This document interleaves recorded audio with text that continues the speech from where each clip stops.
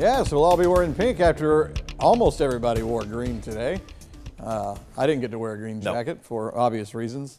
And if you're staying up with us, boy, are you going to love this. Ah. This is what happens when you wear a green jacket. See, you can't see yourself at Mm-hmm. The you wall. can't. So it looks like actually I'm wearing like the same color you are. like, so you're wearing the Yeah. Fickling building. I do have the feeling. yeah, it's kind of like so.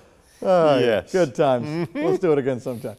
All right, so there we go. 57 is the current number. Uh, you know, somewhere around 50 as we head out the door tomorrow, but some places are already kind of around that number. Here's a look at the current map. We're seeing 50s. Uh, and again, we Macon area we were at 61 just a little while ago, but everybody's dropped now. So 50 in Eastman, obviously that's going to be an average.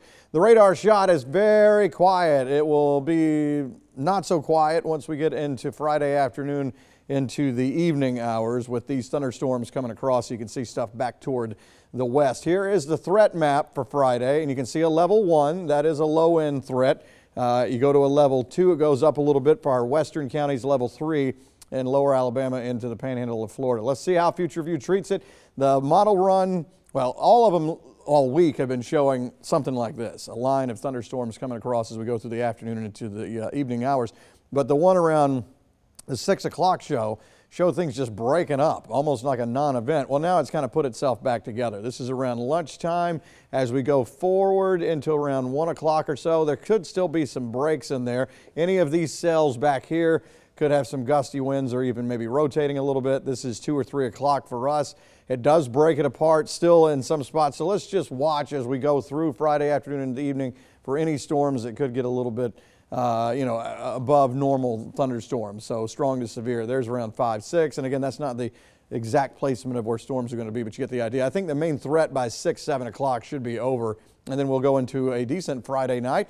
And the front comes on through as we go overnight into Saturday morning. Maybe a few showers for Saturday morning, a few sprinkles if you head out early. Uh, and then it'll clear on as we go through the day. And then sunshine takes over. Great looking Saturday. Sunday, the same thing. And we keep the trend going on into next week. As you can see from Sunday on into Monday, Tuesday is quiet.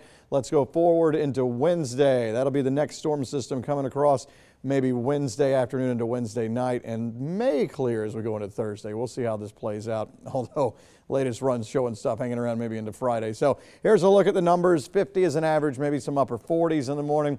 And now the temperature map has kind of gone back and forth as well. With the rain broken earlier, it was showing way up into the upper 70s tomorrow. Now, if we get the cloud cover and the rain, it will we'll see some 70s, but the numbers will come on down as the rain cooled air comes on in. So there's the seven day.